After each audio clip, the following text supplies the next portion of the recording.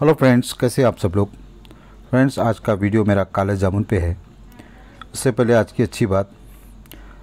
Friends बुरा वक्त एक ऐसा आईना है जिसमें सारे चेहरे सामने खुल के आ जाते हैं। आपको पता चल जाता है कौन आपके साथ है और कौन आपके अगेंस्ट और फ्रेंड्स आज मैं एक छोटा सा वीडियो आपके लिए तैयार कर रहा हूँ क्योंकि ये रेनी सीज़न स्टार्ट हो चुका है और मेरा ये जामुन का जो प्लांट है, ये दस महीने पुराना है।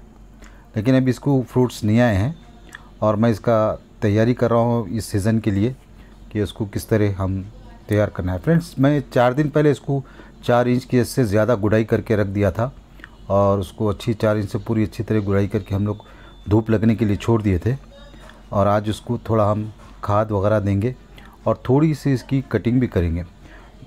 ये देखिए फ्रेंड्स इसमें मैं ख़ास तौर पे उन डालियों को उन जो शूट्स रहते हैं, जो नीचे जा रही हैं, हम उसको कट कर देंगे। क्योंकि फ्रेंड्स ये हमारे लिए बहुत नुकसानदेह है और इसकी वजह से हमारे प्लांट की जो रूट्स का जो एरिया होता है, वहाँ पर धूप भी नहीं पड़ती है इसकी वजह से। क्योंकि अभी रेनी सीज़न स्टार्ट हो जाएगा तो धूप हमको बहुत कम मिलेगी। उसके बाद सरमा शुरू होता है। तो फ्रेंड्स अभी से हम उसको अगर अच्छे से अगर कटिंग वगैरह करेंगे तो हमारा प्लांट्स बहुत अच्छी तरह ग्रो होगा और उसमें फ्रूट्स भी अच्छे लगेंगे। अभी तो इसको टाइम है फ्रूट्स लगने के लिए, लेकिन ये कटिंग फ्रेंड जितने भी हमारी ब्रांचेस नीचे जा रही हैं, हम उसको काट देंगे। अगर आपके पास भी है ऐसा प्लांट जिसकी ब्रांचेस नीचे जा रही हैं तो आप उसे कट कर दीजिए और जो ऊपर जा रही है उसे छोड़ दीजिए। उसको कट करने की ज़रूरत नहीं है, जब तक कि वो नीचे ना टेढ़ी हो जाए। फ्रेंड्स ये हमने पूरी कटिंग कर दी है और इसके बाद हम इसको फिर से गुड़ाई करेंगे थोड़ी सी, एक दो इंच। ताकि इसमें हम अच्छे से खाद दे सकें। और इसके अंदर जो खाद मैं तैयार किया हूँ, गोबर की खाद है फ्रेंड्स, मेरे पास डेढ़ साल पुरानी गोबर की खाद है और उसके साथ मैं राजस्थान दे रहा हूँ।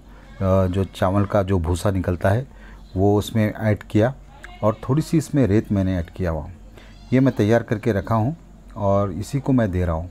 तो हम इसको थोड़ी सी अच्छे से फिर से एक बार गुड़ाई कर देंगे ताकि थोड़ी सी हमको रूट्स नज़र आए।